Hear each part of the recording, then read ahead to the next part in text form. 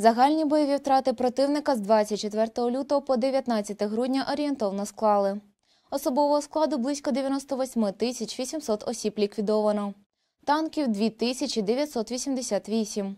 Бойових броньованих машин 5969. Артилерійських систем 1953.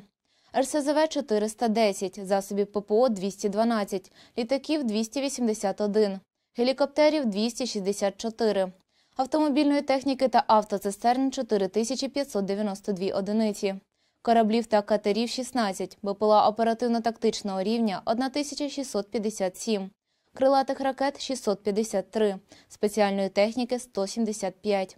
Дані уточнюються.